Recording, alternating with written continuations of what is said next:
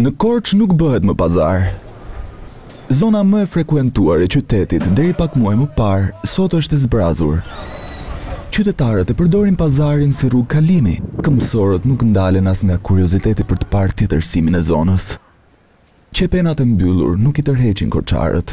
Pronarët e atyre pak dyqaneve që janë hapur, rrinë tek dera duke pritur ndonjë blerës rastësor. Kufizimi nga bashkia i llojit të aktiviteteve që mund të ushtrohen dhe produkteve që lejohen të shiten, e kanë nxjerrë pazarin jashtë funksionit. Tregtarët e vjetër edhe pse e kanë përshtatur aktivitetin sipas listës së bashkisë, janë në prag falimentimi. Bosh me si të shikon çdo ditë.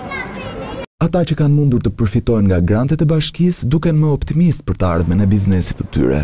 Ata shpresojnë që në muajt e ardhshëm situata të ndryshojë dhe zona të frekuentohet masivisht. Ne kemi bërë një lloj investimi dhe jemi bërë pjesë e programit në të cilin financohej gjysma e gjithë investimit që ne kemi realizuar. Pritshmëritë i kemi të larta, gjatë beharit presim që dhe biznese të tjera të hapen dhe zona do jetë më e frekuentuar, në mënyrë të veçantë nga turistët.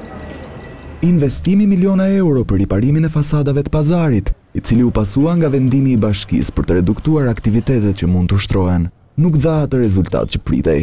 Njëqind e pesëdhjetë dyqane që u mbyllën forcërisht nga policia bashkiake në fillim të verës, nuk janë hapur ende nga tregtarët të cilët mbeten skeptikë për projektin e ri të bashkisë, ndërsa korçarët duan ende kohë për t'u përshtatur me konceptin se në pazar nuk shkohet për të blerë produktet që të nevojiten, por për të pirë kafe dhe rrallë për të blerë ndonjë suvenir.